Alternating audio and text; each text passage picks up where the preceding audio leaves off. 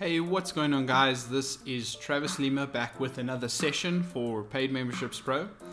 And today I'm going to be chatting to you a little bit about the different pricing options that you can do with Paid Memberships Pro. So lately we've been getting a couple of queries on how to set up pricing for for membership levels and the different ways that you can set up different kind of pricing. And so we thought to make this video just to go through a few of the ways that you can uh, charge your clients or charge your members for your membership level and for your content. So I'm going to dive right in and make a once off membership. Now I'm just labeling it once off membership so we can actually see which is which on our membership uh, levels page. And so to do this, basically what I want to do here is I want to create a level that it will cost $99 once off and then the member will actually have a membership level or an account forever. So they won't have to pay again. They'll pay $99 once off, um, and then they will have the account forever. So to do this, all I do is I set my initial payment amount to whatever you want, and then you go ahead and save your level. Now in this next tab over here, I've got my membership levels and I currently have had no um, membership level saved. So if I refresh this, we've got our once off membership and that is going to cost $99 now. And if I purchase it, I'll have it forever.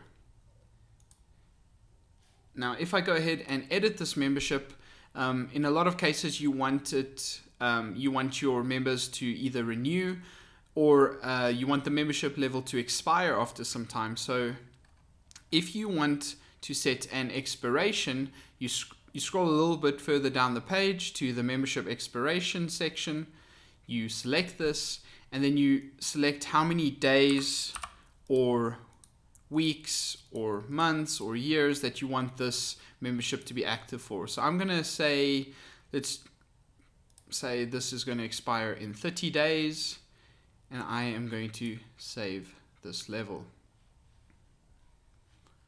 Great, now if I refresh this, now you can see this once off membership, it's going to cost me $99 if I want to sign up, and it's going to expire after 30 days. Great.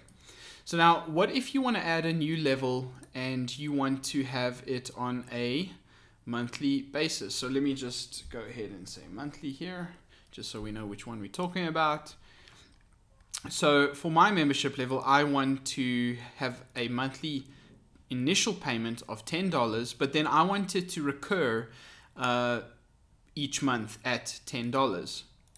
So what I do is I click the recurring subscription checkbox and I select my billing amount of $10 and it's going to be once a month. So after this initial payment, every month I can expect $10 to just recur at an automatic rate.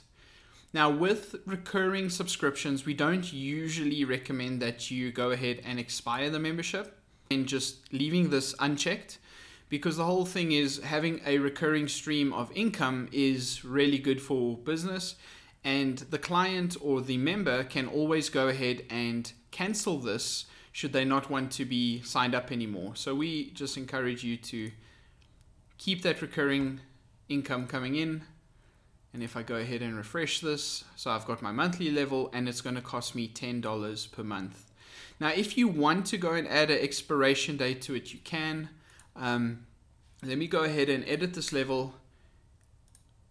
And just for argument's sake, let's say I want, uh, you know, it's going to take a little bit of admin work to set this membership up or to, you know, I might have some paperwork to do. So let's go ahead and say I want to collect $200 on the initial payment and then I want a $10 or yeah, we'll leave it at $10 at once per month. So this is basically saying that this is going to be billed once every month. And we'll go ahead and save our level. And if we go to our membership level page and we refresh this, so now you can see our initial payment is going to be $200 now, and then we're going to get $10 per month thereafter. So that way, you can, uh, specifically with the initial payment, you can actually go ahead and collect a different amount to your recurring membership. Another common way to, and it's something that we do on our own site, is we offer an annual payment or a yearly payment. So I'm just going to change this to yearly.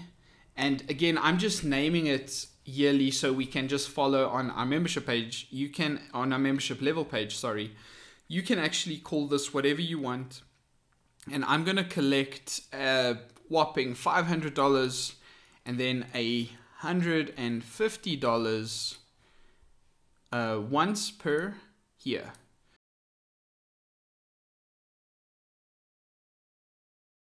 So let's go ahead and refresh this.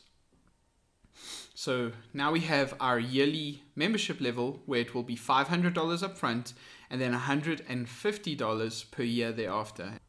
One last thing that I want to show you today is how to set up a free membership level. So I'm going to go ahead and name my membership level free membership.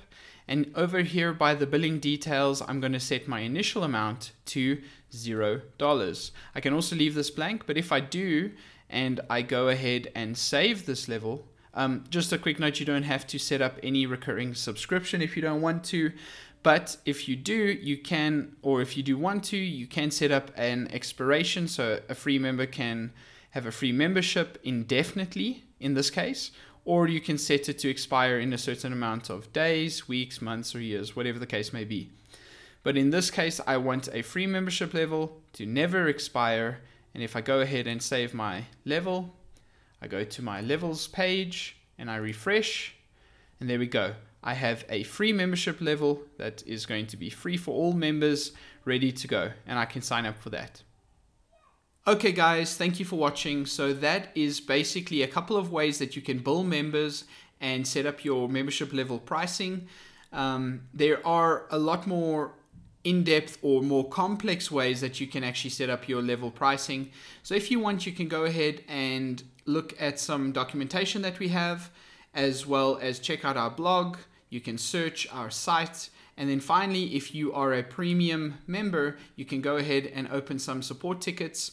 And chances are that we can help guide you and get you your membership billing structure uh, or your pricing structure as you as you need it to be. Um, I'll be making some more videos on this in the next few weeks, so keep a lookout for that. And thank you very much for using our plugin and for watching. Have a great day.